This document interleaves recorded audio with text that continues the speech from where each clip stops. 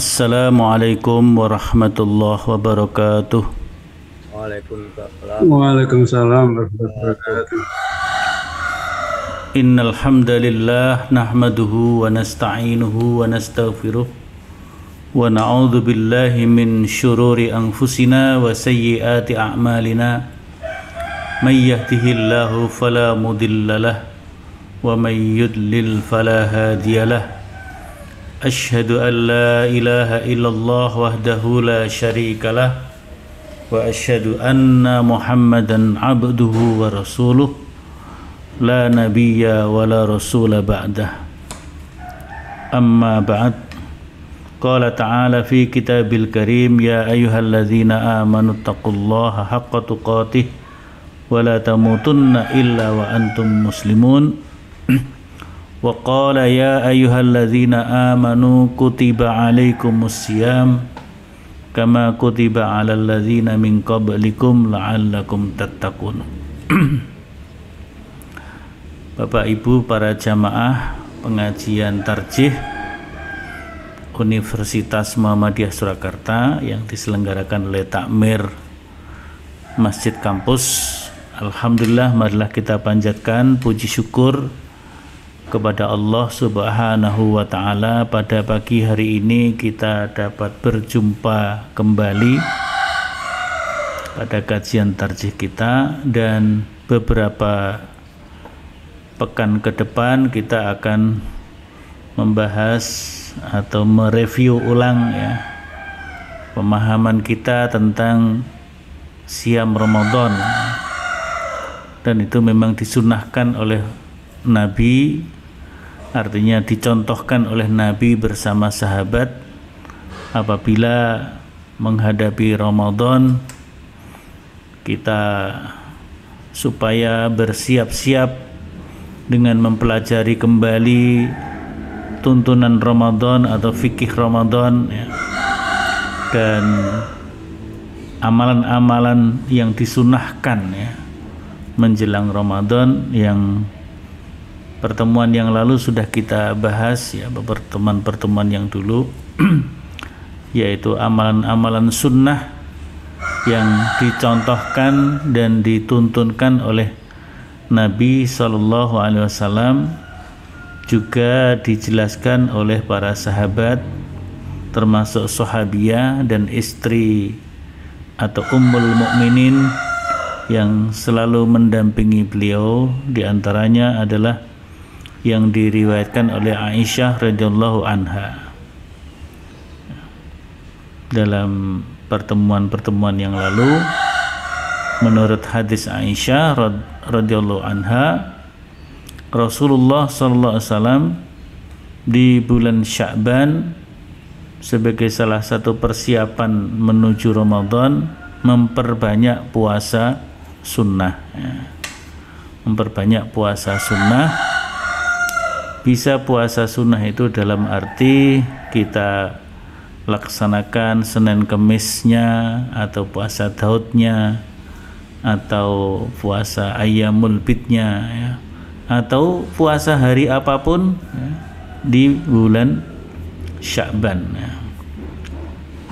ya. itu sebagai persiapan secara fisik ya untuk melatih supaya nanti ketika masuk Ramadan sudah lancar, sudah terbiasa berpuasa. Nah, kalau kita perhatikan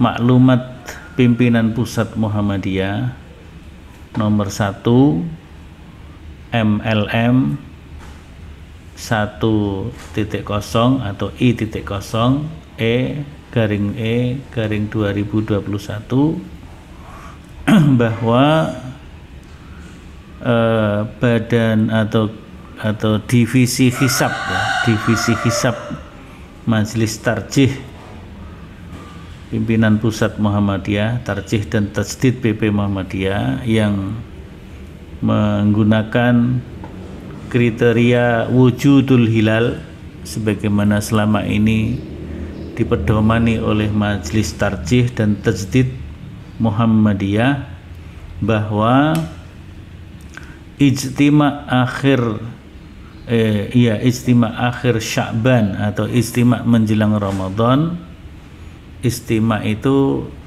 terjadinya konjungsi artinya bulan, matahari dan bumi dalam satu garis. Apabila kondisi-kondisi tertentu biasanya pada saat ijtima inilah nanti bisa terjadi gerhana matahari. Tetapi ijtima yang nanti jatuh pada tanggal 12 April ya, itu tidak bertepatan dengan gerhana. Karena meskipun satu garis tetapi tidak uh, membawa efek kepada gerhana. nah, istimak akhir Sya'ban atau istimak menjelang Ramadan jatuh pada hari Senin Pon 12 April 2021 jamnya jam setengah 10 pagi jam 09.33 59 ya. Jadi jam 9 lebih 33 menit 59 detik. Ya hampir jam 9 lebih 34 dan pada saat terbenam matahari di posisi Yogyakarta karena ini hisapnya dipusatkan di Yogyakarta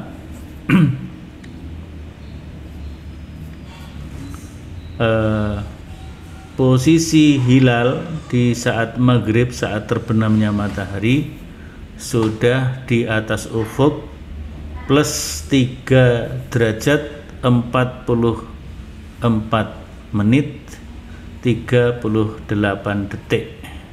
Artinya hilal sudah wujud karena sudah di atas ufuk. Matahari sudah lebih dulu terbenam ya kemudian apa namanya bulan terbenam lebih terlambat ya.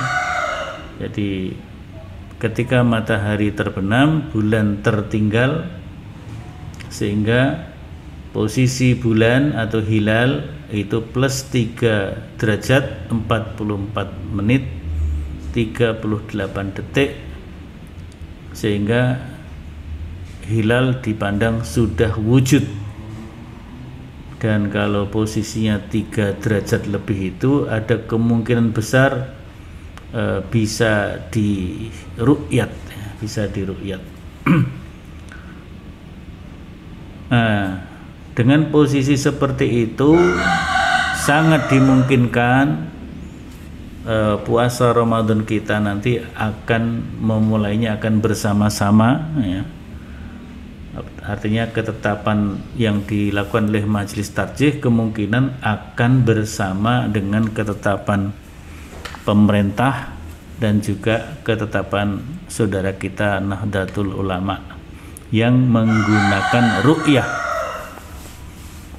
Karena posisi 3 derajat itu sudah di atas imkanur ru'yah 2 derajat yang dipegangi oleh baik itu pemerintah maupun yang lainnya. Mungkin termasuk juga beberapa almanak di kalangan Nahdlatul Ulama. Ya, sehingga posisi 3 derajat sudah imkanur ru'yah mungkin diru'yat. Nah, dan oleh sebab itu sangat ter, sangat mungkin terjadi ya kemungkinan besar permulaan Ramadannya sama yaitu tanggal 13 April. Hanya saja kalau Muhammadiyah karena sudah dihisap dan hasilnya sudah jelas maka Muhammadiyah langsung menetapkannya ya. Jadi sudah ditetapkan oleh majelis tarjih bahwa Ramadan satu Ramadan tahun dua, uh, eh, 1442 bertepatan dengan 2021 itu akan jatuh pada hari Selasa. Jadi Selasanya berarti setelah pon itu apa? Wage ya? Pon wage kliwon legi paing pon wage ya. Jadi selasa wage tanggal 13 April 2021 nah posisi hilal di atas ufuk itu sudah rata di seluruh Indonesia jadi di bagian paling timur itu juga sudah wujud di bagian paling barat juga sudah wujud. Oleh karena itu sudah bisa ditetapkan bahwa satu Ramadan jatuh pada Selasa Wage 13 April 2021 Masehi. Nantinya akhir Ramadan istimanya akan jatuh pada tanggal 12 Mei harinya Rabu Pon. Ini kalau pasarannya sama-sama ponnya ya. Tanggalnya sama-sama tanggal 12 nah istimaknya terjadi sebelum masuk waktu subuh jam 02.03 maka sangat-sangat hampir bisa dipastikan bahwa tinggi hilal di saat terbenamnya matahari karena istimewa sudah terjadi waktu sebelum subuh maka pada saat terbenam matahari posisi hilal sudah di atas ufuk 5 derajat. 5 derajat. Karena 5 derajat pasti sudah wujud dan hampir pasti bisa diru'yah. Nah, bisa diruyah atau tidak itu kalau 5 derajat kondisi normal tidak berawan maka itu pasti juga sudah bisa diruyat tapi kalau nanti berawan ya kemungkinan nggak bisa diruyat. Nah, tapi karena sudah di atas ufuknya sudah sangat tinggi ya 5 derajat maka pemerintah dan Nahdlatul Ulama serta yang lain insya Allah sama menetapkan Idul Fitrinya nanti pada tanggal 13 Mei 2021 harinya hari Kamis Wage. Harinya hari Kamis ya. jadi tanggal 1 Syawal jatuh pada hari Kamis tanggal 13 Mei 2021 ini yang barangkali perlu kita ketahui ya bahwa kalau Muhammadiyah menggunakan hisab hakiki wujudul hilal itu sudah bisa menetapkan jauh-jauh hari sebelumnya. Karena tidak menggunakan ru'yah lagi bukan berarti bahwa Muhammadiyah itu meninggalkan sunnah Rasul tidak ya karena kriteria-kriterianya sama dengan kriteria ketika melaksanakan ru'yah. Jadi kriterianya matahari terbenam terlebih dahulu, kemudian hilal terbenam sesudah matahari terbenam. Itu itu kriteria-kriteria yang sama dengan kriteria ketika melakukan ru'yah. Nah, karena sudah dihitung sedemikian rupa, maka ru'yahnya bisa juga disebut dengan ru'yat ru'yah bil ilmi. Ru'yah dengan ilmu pengetahuan. Sedangkan kalau melihat langsung dengan mata kepala itu namanya ru'yah bil ain ru'yah dengan mata kepala. Yang tentu banyak sekali kendala-kendalanya kalau terjadi mendung dan sebagainya baik itu informasi berkaitan dengan eh,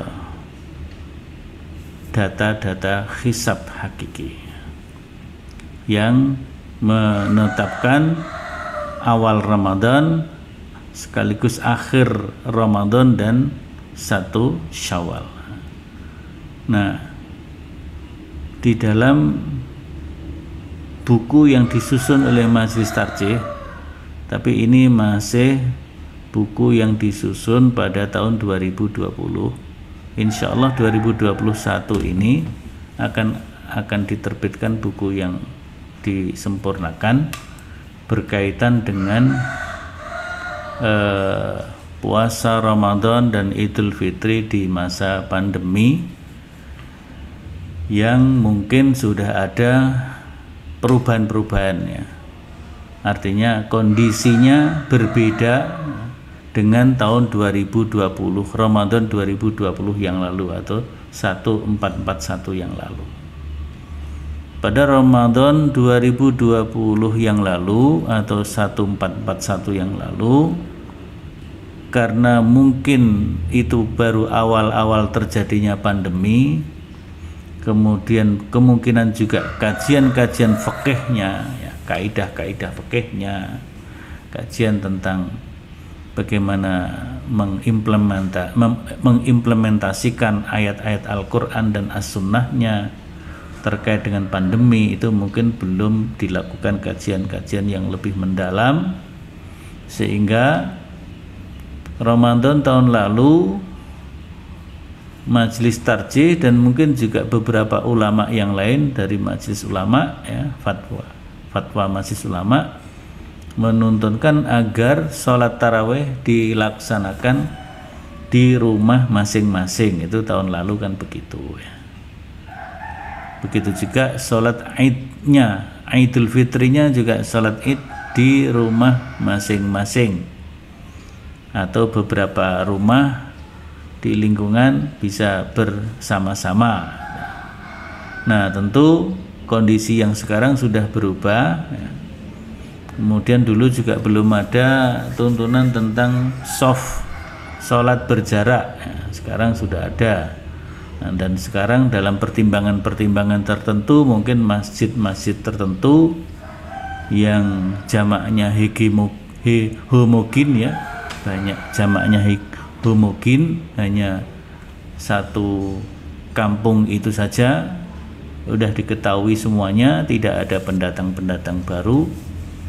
Nah, kalau itu mungkin sudah bisa dinormalkan kembali dalam kondisi tertentu. Tapi itu kan pertimbangan-pertimbangan masing-masing lokal masing-masing masjid dengan melihat kondisinya. Nah, tentu nanti dalam kaitan ini Majelis Tarjih akan menerbitkan tuntunan. Insya Allah ini baru dibahas beberapa halnya.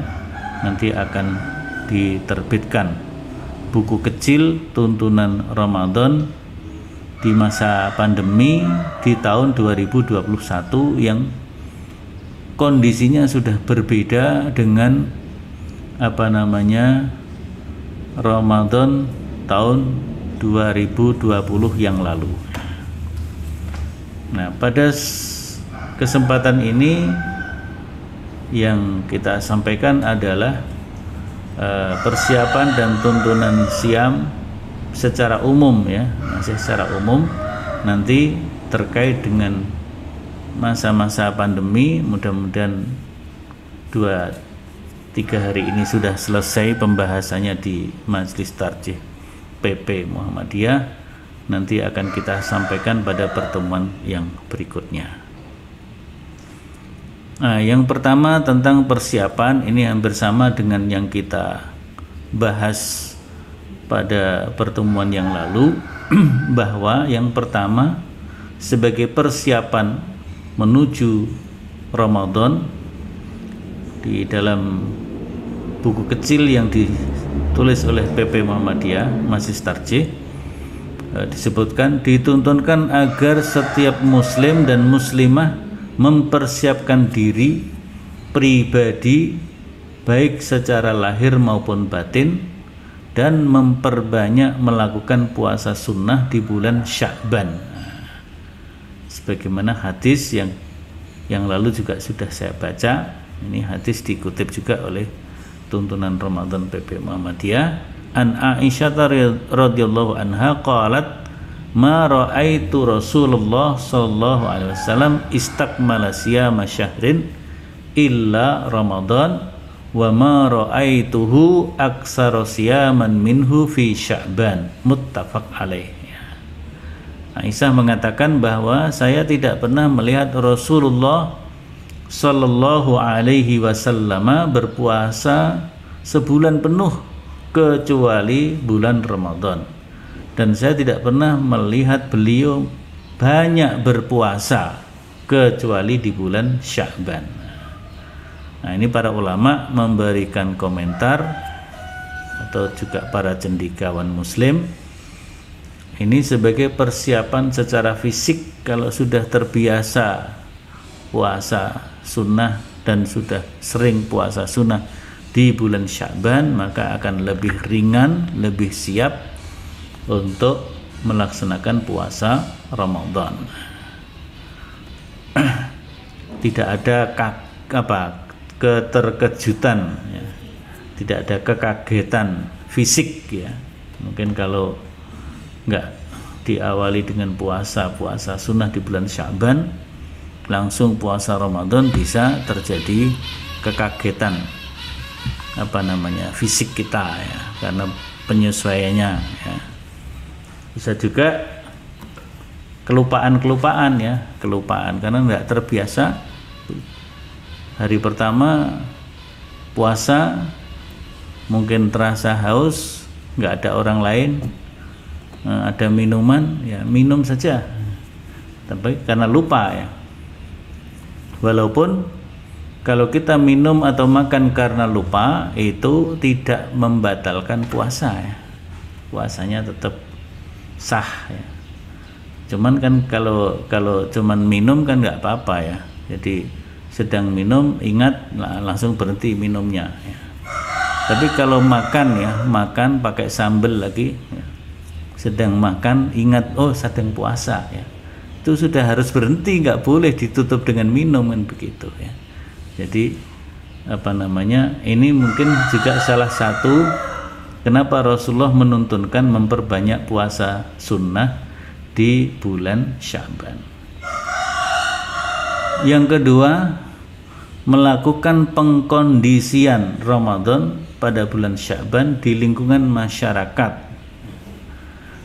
Eh, bisa juga rumah masjid-masjid dengan memperbanyak informasi atau kajian-kajian tentang tuntunan ibadah Ramadan.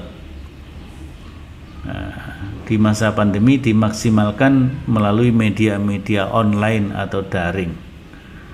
Hal ini untuk mengindahkan aturan social distancing atau physical distancing. Ini kalau apa namanya di masa pandemi seperti itu ya nah, kajian-kajian bisa online. Kalau orangnya terbatas ya offline juga nggak apa-apa.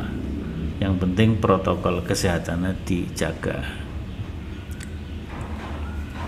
Kemudian mempersiapkan sarana prasarana untuk kegiatan Ramadan ya seperti apa namanya masjid-masjid dibersihkan dipersiapkan sound sistemnya eh, tempat wudhunya diperbaiki ya, air wudhunya kotak-kotak infaknya peralatan-peralatan untuk takjil dan sebagainya dan sebagainya pengaturan soft keamanan terutama di masa pandemi dan mudah-mudahan kalau pandemi sudah berlalu uh, bisa diatur lebih normal lagi.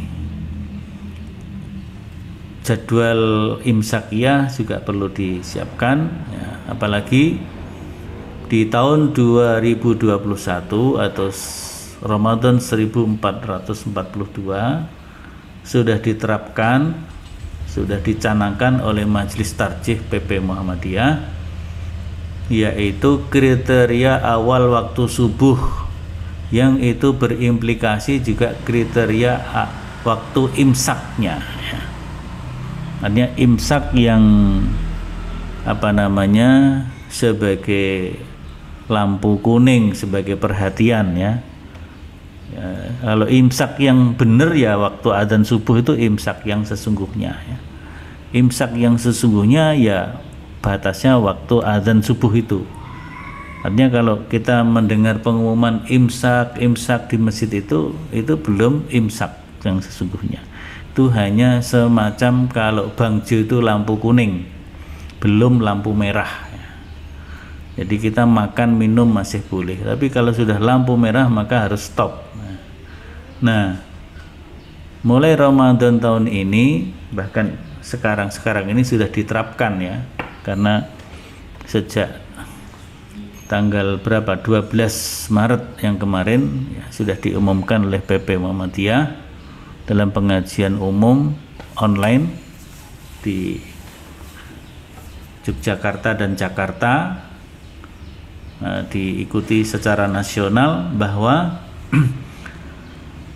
uh, penerapan kriteria awal subuh dengan minus 18 derajat di bawah ufuk. Matahari minus 18 derajat di bawah ufuk itu sudah diterapkan sehingga waktu subuh dari dari semula yang biasa yang kriteria Kementerian Agama itu kita menambah atau mengundurkan waktu subuhnya 8 menit. Karena kita menggunakan kriteria fajar sotiknya adalah minus 18 derajat. Sehingga minus 20 derajat itu belum fajar sotik tapi masih fajar kadib ya. masih fajar kadib fajar sotik yang sesungguhnya setelah dilakukan penelitian-penelitian di Muhammadiyah dilakukan penelitian oleh tiga pusat falak ya pusat studi falak eh, di Universitas Muhammadiyah Sumatera Utara kemudian Universitas Profesor Hamka dan Universitas Ahmad Dahlan Yogyakarta. Jadi ketiga kampus itu memiliki kesimpulan yang sama bahwa kriteria fajar sotik yaitu minus 18 derajat. Sehingga majelis tarjih menetapkan dalam munas tarjih subuh ditetapkan minus 18 derajat. Sehingga kalau dari jadwal yang beredar selama ini ditambah 8 menit. Sehingga nanti kalau kita imsak apa namanya mendengar pengumuman imsak imsak berdasarkan jadwal lama itu waktunya masih 18 menit lagi untuk makan sahur. Masih 18 menit lagi karena menuju imsak-imsak itu menuju waktu subuhnya kan 10 menit.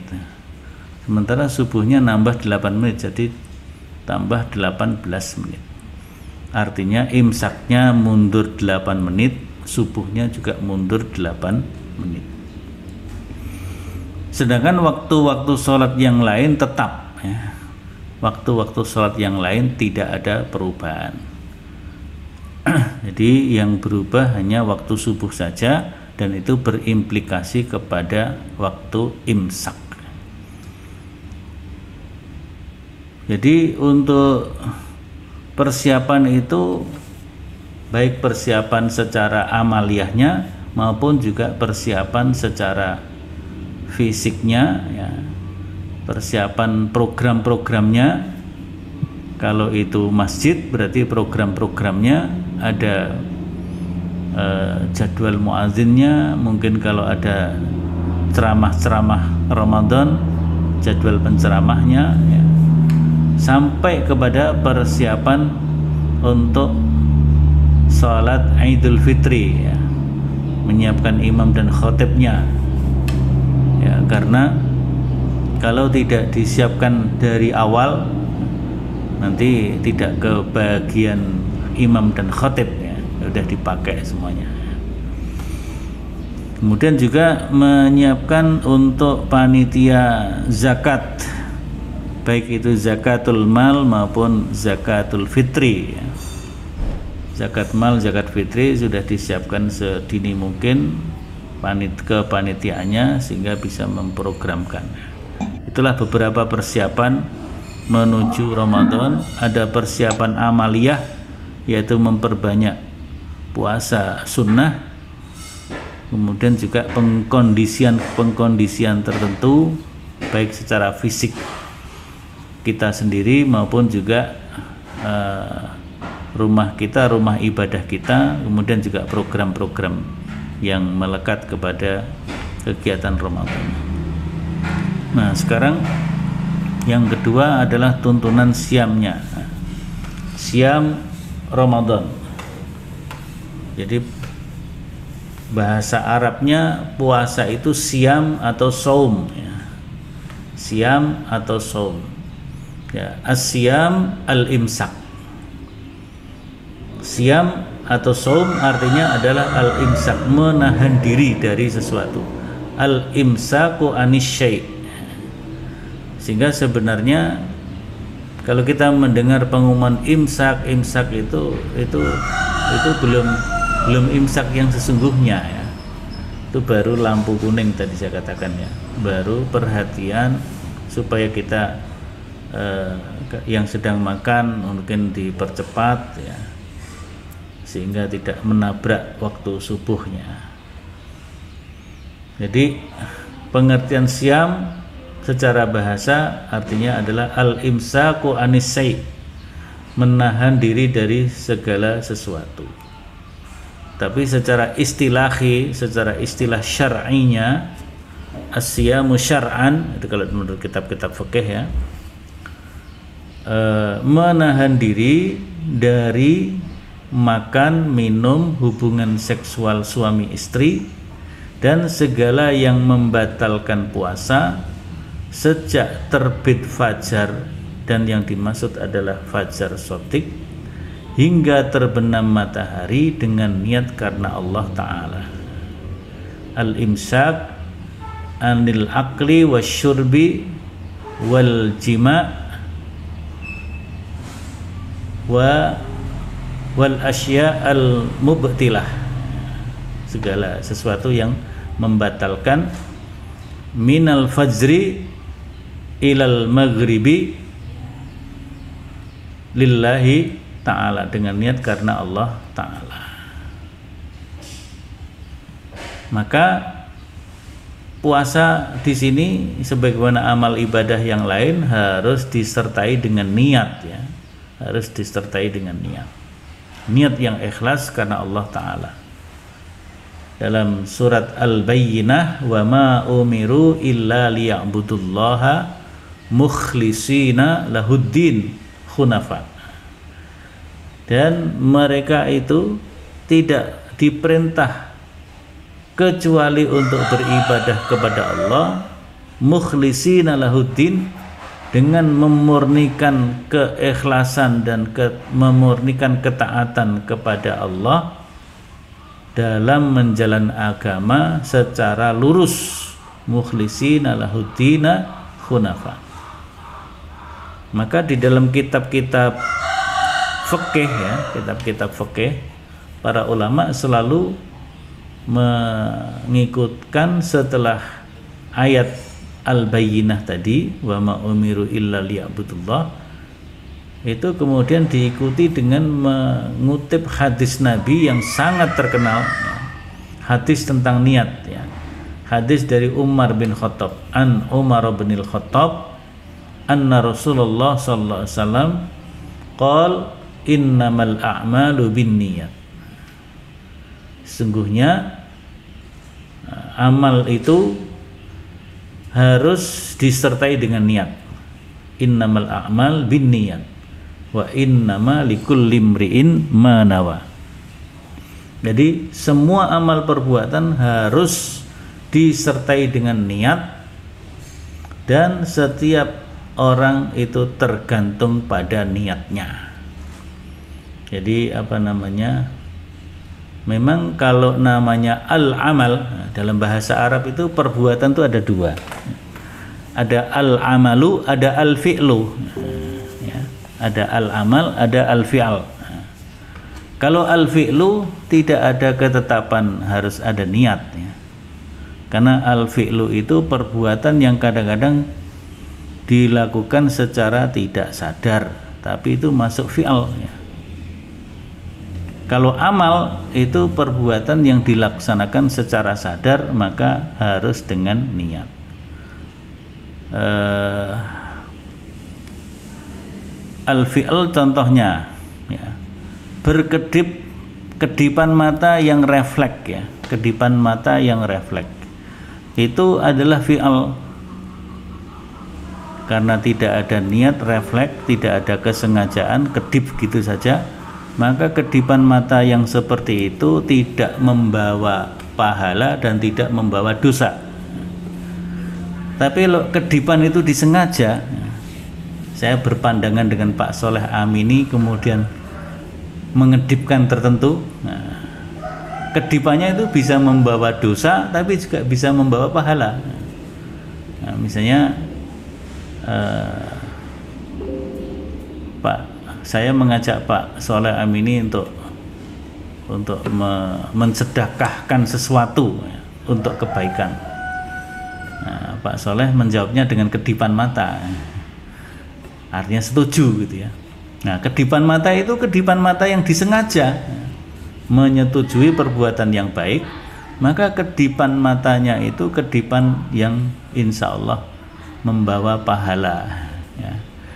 nah, jadi kedipan mata itu bisa menjadi al amal tapi juga kadang-kadang menjadi al fi'al saja al fi'al saja maka innamal a'malu niat kalau disebut amal mesti harus dengan niat.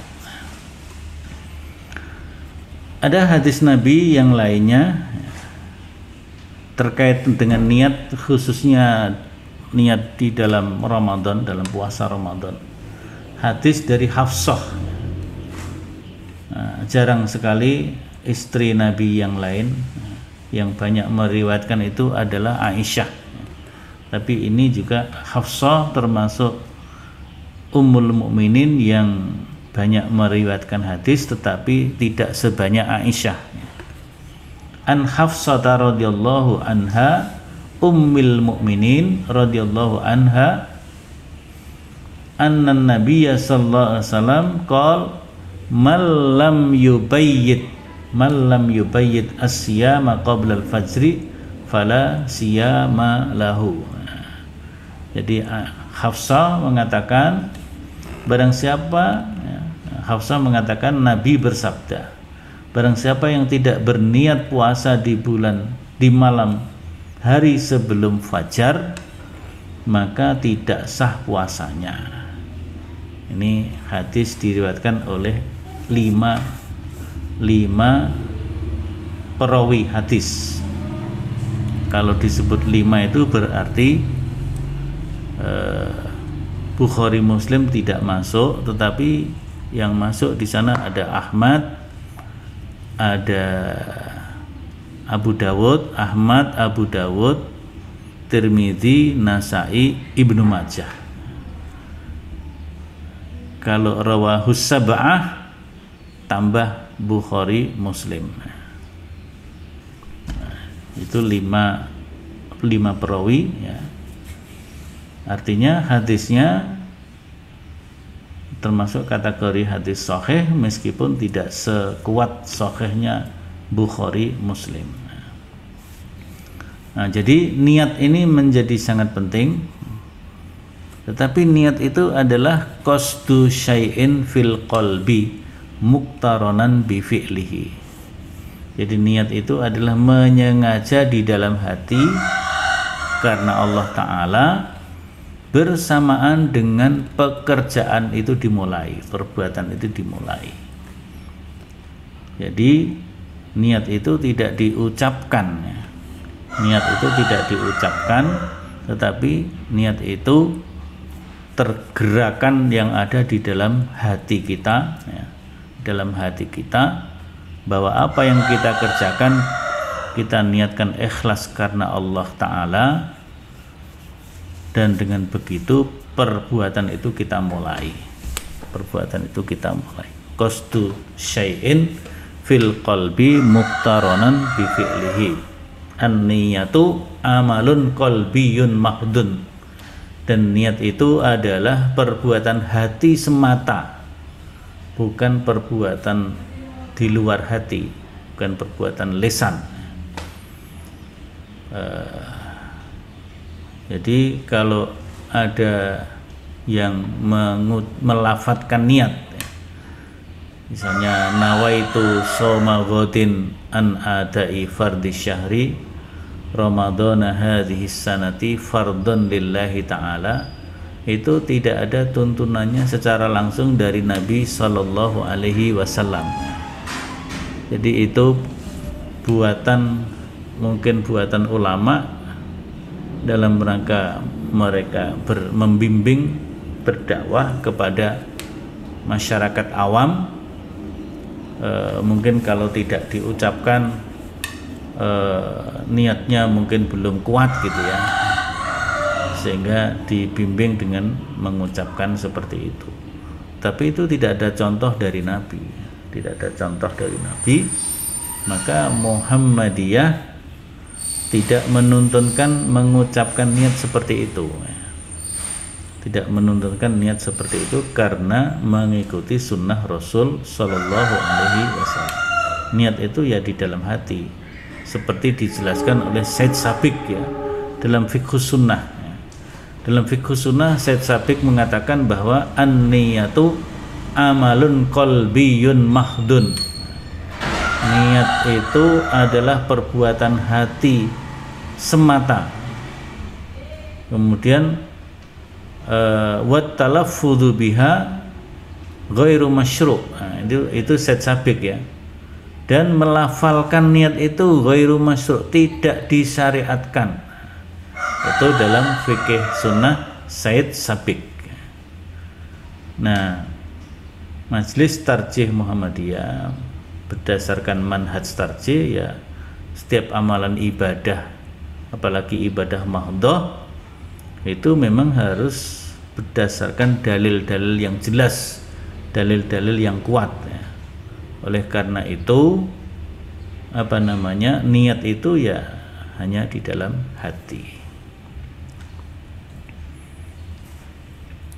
Kemudian puasa Ramadan itu sebagaimana di dalam surat Al-Baqarah 183 ayyaman ma'dudah. Pada hari-hari tertentu dan yang dimaksud hari tertentu adalah bulan Ramadan sebulan penuh. Kalau sebulan penuh itu berarti bisa 30 hari bisa 29 hari. Tergantung kondisi bulannya. Jadi bulan hari-hari dalam bulan itu kan rata-rata sebenarnya 29 hari 10 jam sekian menit sekian detik sekian menit sekian detiknya ini yang saya belum hafal ya. jadi umur bulan itu 29 hari 10 jam sekian menit sekian detik nah kadang-kadang terjadi pembulatan ke bawah atau pembulatan ke atas. Dan itu tergantung posisi bulan pada saat istima dan pada saat terbenam jadi kalau saat terbenam sudah wujud berarti pembulatan ke bawah. Pembulatan ke bawah. Maka jumlah bulannya 29 kalau pada saat terbenam belum wujud masih di bawah ufuk maka bulan disempurnakan menjadi 30 hari. 30 hari. Maka menjadi istiqmal 30 hari. Nah puasa kita insya Allah 30 hari nanti ya. Puasa kita terjadi 30 hari insya Allah. Jadi ini maka dari situ kita diperlukan untuk mengetahui awal bulan Ramadan. Dan awal bulan itu bisa menggunakan hisab, bisa menggunakan ru'yah. Nah, hisab itu lebih lebih konkret, lebih mudah, bisa ditetapkan jauh-jauh sebelumnya ya. Kalau ru'yah kan harus nunggu pada saat jadwalnya harus diruyat kalau uh, kelihatan berarti tanggal kalau enggak kelihatan berarti disempurnakan Jadi eh, kita harus mengetahui awal bulan Ramadan itu kapan. Bisa menggunakan hisab, bisa menggunakan ru'yah. Nah, di dalam Al-Quran disebutkan Faman syahida minkum syahra falyasum Barang siapa di antara kalian menyaksikan bulan Ramadan Artinya hadir Kita sehat hidup di bulan Ramadan Maka hendaklah dia berpuasa nah, Syahida di sini bisa juga dengan ru'ya atau bisa dengan hisab atau kita memang hadir di bulan Ramadan itu ya. beberapa ayat Al-Quran menunjukkan ya, ayat Al-Quran menunjukkan bahwa kita berpuasa itu uh, atau menetap, menetapkan waktu-waktu itu berdasarkan perhitungan ya. Contohnya dalam surat Yunus ayat 10 itu ya, yang sangat terkenal itu ya oh Yunus ayat 5 ya. Walladzi ja'ala syamsa diya'an wal qamara nuran wa qaddarahu manazila li ta'lamu adadas sinin wal hisab. Jadi Allah menciptakan matahari menjadikan matahari itu bersinar dan bulan bercahaya artinya dia itu cahaya yang sangat kuat cahayanya matahari wal qamara nuron bulan juga bersinar atau bercahaya tapi cahayanya adalah lebih lebih soft karena itu memantulkan dari matahari. Kemudian Allah menetapkan orbit-orbitnya lit wa qaddarahu manazil. Dan Allah menetapkan orbitnya orbit matahari bulan dan bumi dan planet-planet yang lainnya orbit-orbit itu bergerak ya bergerak ber, beredar sesuai dengan posisinya masing-masing dan itu bisa dihitung untuk apa? Litak lamu ada sinin untuk mengetahui perhitungan tahun wal hisab dan perhitungan waktu. Perhitungan tahun dan perhitungan waktu. Nah ayat-ayat Al-Quran menunjukkan bahwa hisab itu bisa dipakai untuk menetapkan waktu untuk menghitung perhitungan tahun. Dan hadis Nabi memberikan rinciannya dalam bentuk hisab dan ru'yah.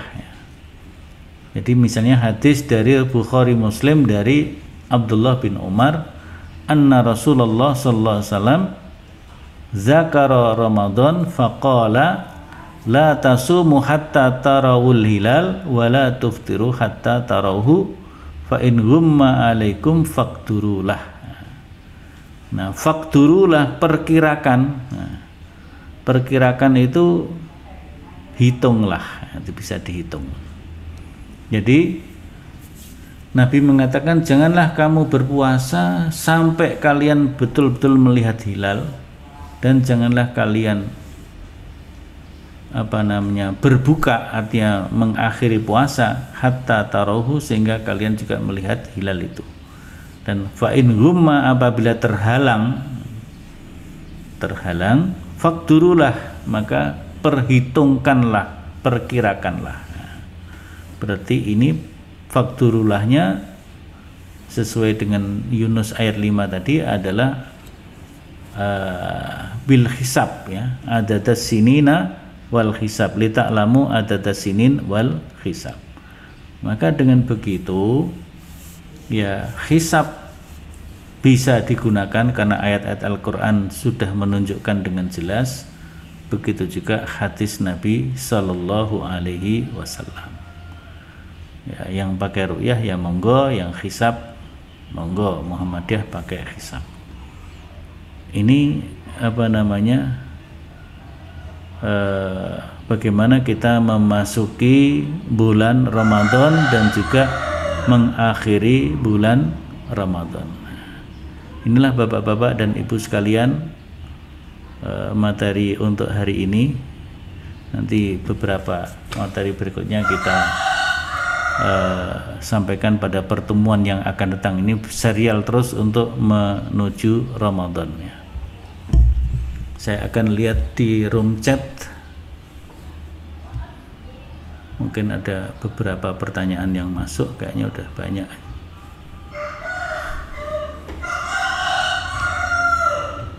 Ya.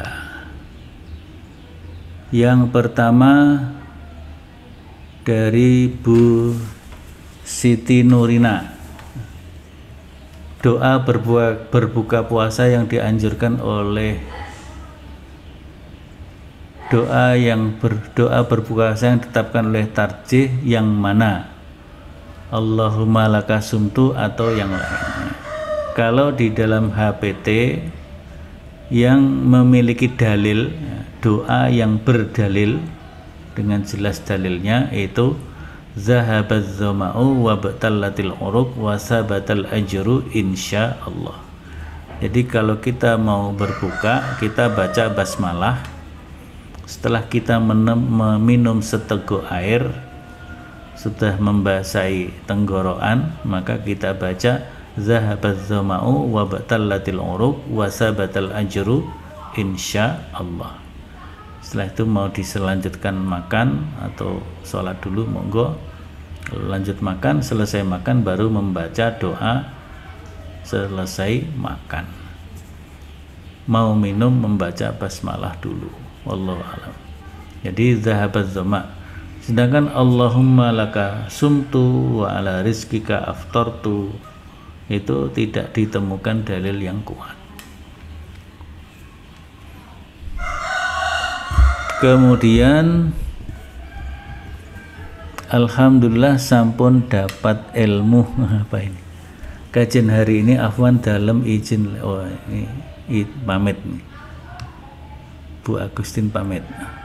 Berikutnya Bapak Soleh Amini Yahman. Takjil itu artinya apa? Kenapa sedekah makanan untuk berbuka puasa di masjid-masjid dinamakan takjil atau takjilan? Jadi takjil dari kata ajjala yu'ajjilu. Ajjala yu'ajjilu itu menyegerakan menyegerakan berbuka. Artinya begitu masuk waktu maghrib jangan ditunda-tunda segera berbuka. Nah, jadi takjil itu menyegerakan berbuka. Tapi kan kemudian dijadikan istilah setelah takjil itu makanan berbuka. Ya itu itu kreativitasnya orang-orang Jawa itu. Takjil takjilan. Nah. Jadi takjil itu maka apa namanya menyegerakan berbuka. Jadi kalau apa namanya waktu tadarus kemudian apa apa setelah sholat taraweh kemudian dibagi-bagi makanan roti itu bukan takjil, bukan takjilan itu ya. Itu namanya jaburan. Nah, jaburan ki apa orang ngerti bahasa Jawa ki. Nah, itu jaburan snack gitu ya jadi liane Pak Sony rebutan iya itu Sholat taraweh berjamaah di masjid itu merupakan tradisi apa memang sunnah. Jadi kalau sholat taraweh berjamaah di bulan Ramadan itu memang sunnah ya, memang sunnah. Uh, dalam uh, sholat taraweh bersama Nabi yang ditulis oleh Syekh Nasruddin Albani ya. jadi memang di sana menunjukkan sunnah dan juga di dalam tarjih juga dituntunkan ya nanti ke, sampai kepada amaliyah sunnah di bulan Ramadan insya Allah sampai di sana bahwa apa namanya sholat taraweh berjamaah itu minas sunnah ya. minas sunnah karena pada zaman Nabi Nabi pernah melaksanakannya ya berjamaah taraweh berjamaah sampai tiga malam ya. Tiga malam berturut-turut Nabi berjamaah bersama sahabat. Malam pertama nggak banyak besoknya getok tular makin banyak. Malam ketiga getok tular lagi makin banyak lagi ya. Itu para sahabat sangat menyukai sholat bersama Nabi sholat tarawih bersama Nabi. Nah Malam yang keempat para sahabat sudah kumpul begitu banyak Nabi nggak keluar ya. Nabi nggak keluar. Kenapa Nabi nggak keluar? Maka Nabi mengatakan saya khawatir nanti di diwajibkan. Nah, kalau yang datang banyak terus-terus nanti diwajibkan dan itu akan memberatkan. Artinya eh, sholat tarawihnya itu sunnah, jamaah sholat tarawihnya juga sunnah. Kalau sholat lail tahajud di luar Ramadan boleh nggak berjamaah? Ya, itu boleh juga ya. Itu boleh berjamaah juga. Makanya kalau di Muhammadiyah ada kegiatan-kegiatan yang menginap mabit seperti Darul Arkom, Baitul Arkom pelatihan biasanya juga diselenggarakan sholat tahajud atau qiyamul lail berjamaah. Contohnya mana? contohnya adalah Ibnu Abbas ketika menginap di rumah Nabi atau di rumah salah satu istri Nabi yaitu ketika beliau menginap di istri Nabi yang itu kebetulan bibiknya juga ya. Jadi kalau Nabi itu sepupu istri Nabi yang namanya Bu Maimunah itu bibiknya buliknya uh, Ibnu Abbas.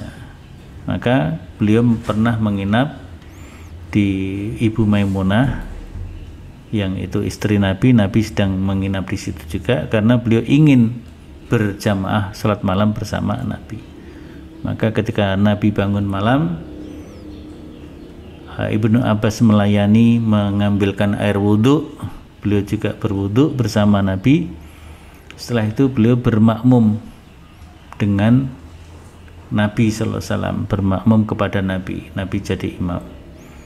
Uh, pada saat itu Ibnu Abbas sholat berjamaahnya sendirian ya. Jadi makmumnya sendiri. Beliau berdiri di sebelah kiri. Nah, Nabi dalam keadaan sholat ya, menggeserkan menggeser Ibnu Abbas dari sebelah kiri dipindah ke sebelah kanan ya. sehingga sholat itu atau hadis itu bisa dijadikan pedoman untuk dua hal. Yang pertama bolehnya sholat lail berjamaah. Yang kedua eh, makmum sendirian makmum satu orang posisinya tidak di belakang imam atau di sebelah kiri imam tapi di sebelah kanan imam dan Rasulullah menggeser Ibnu Abbas itu dengan menggeser telinganya yang seperti dijewer gitu dipindah ke. Nah cara mindahnya nggak tahu gimana. Mungkin apa menoleh ke belakang atau gimana Allah alam. Yang jelas Nabi memindahnya. Nah itu ya. Kemudian ceramah taraweh atau ceramah ba'da subuh apakah wajib? Ya jelas tidak wajib. Jadi eh, itu merupakan kebaikan saja. Jadi amal kebaikan. Di, di dianjurkan di, disunahkan juga tidak. Artinya tidak ada tuntunan khusus eh, ada ceramah taraweh atau ceramah subuh. Itu sebagai sebuah amal tambahan amal keutamaan eh, dalam rangka mendalami ilmu ya, mendalami ilmu ya. maka kalau ceramah taraweh itu ceramah itu sebaiknya dilakukan qabla taraweh. Jadi setelah sholat isya kemudian sholat ba'diyah setelah sholat ba'diyah ceramah. Ceramahnya jangan panjang-panjang 7 menit saja maksimal 10 menit. Setelah itu laksanakan sholat taraweh diawali dengan sholat iftitah atau khafifatain. Ya. khafifatain dua rakaat ringan hanya membaca al-fatihah tanpa surat yang lain. Tentu rakaat pertama dengan membaca doa iftitah dulu kemudian baca fatihah. Selesai fatihah langsung ruko rakaat yang kedua hanya fatihah saja kemudian ruko itu namanya sholat iftitah atau sholat khafifatain pembuka sholat malam atau pembuka sholat taraweh atau sholat tahajud. Jadi eh, dua rakaat ringan hanya fatihah saja, tidak ada bacaan suratnya. Tapi kalau rakaat pertama sebelumnya membaca doa iftitah. Doa iftitahnya juga khusus. Doa iftitah di dalam sholat iftitah bacaannya Subhanallahi zil malakuti wal jabaruti wal kibriya wal azamah nanti bisa dihafal ya. Subhanallahi dzil malakuti wal jabaruti wal kibriya wal azamah Dulu di dalam HPT tertulis Subhana dzil mulki wal malakut wal izzati wal jabarut wal kibriya wal azamah setelah diteliti lafal itu tidak ada dasar dalilnya Kemudian yang ada dalilnya adalah subhanallahi subhanallahi dzil mulki wal jabaruti wal kibriya wal azamah. Nah, nanti mungkin di teks yang akan diterbitkan nanti sudah ada masuk di situ ya. Jadi doa FTT-nya sangat pendek juga. Kemudian Fatihah nah itu. Habis itu sholatlah taraweh 8 rakaat dan witir tiga rakaat. Delapannya empat empat witirnya tiga rakaat langsung. Atau sholat tarawehnya bersama witirnya sebelas rakaat dengan dua-dua. Kalau dua-dua maka dua-dua dua-dua dua satu jadi witirnya satu rakaat artinya tarawehnya sepuluh ya sepuluh dan witirnya satu rakaat. Itu kalau yang dua-dua rakaat. Jadi bukan dua-dua dua-dua kemudian tiga tapi dua-dua dua-dua dua satu jadi kalau tarawehnya dua-dua rakaat diakhiri witirnya satu rakaat. Tidak tiga rakaat tapi kalau empat-empat witirnya tiga rakaat berikutnya dari Pak Asep bolehkah sholat taraweh berjamaah di masjid lalu tidak ikut sholat witir di masjid namun sholat witirnya dilaksanakan di rumah? Ya sebenarnya sholat taraweh dan witir itu satu kesatuan satu kesatuan. Maka sebaiknya ya sholat. Kalau kita sudah sholat taraweh berjamaah bersama imam selesaikan sampai witirnya. Tapi kalau kita ingin sholat taraweh sendiri di rumah ya berarti kita dari awal tidak ikut sholat taraweh bersama imam. Kemudian kita pulang nanti di rumah mungkin ngambil waktu malam ingin sholat apa namanya tarawehnya seperti qiyamul lail ya atau sholat tahajud ya. Maka kita laksanakan sholat taraweh di waktu malam. Wallahu alam. Saya kira dari room chat sudah sudah habis. Mungkin kalau ada tapi waktunya juga sudah jam 8.33 mungkin cukup ya kita cukupkan untuk pertemuan pada pagi hari ini. Insya Allah uh, kita lanjutkan yang akan datang. Masih serial menyongsong Ramadan. Terima kasih Bapak Ibu sekalian. Alhamdulillah yang hadir pada pagi hari ini cukup banyak ya. 100 lebih ya. Kalau tidak salah ada 126 orang ya. Alhamdulillah mari kita akhiri dengan membaca Alhamdulillah. Alhamdulillah.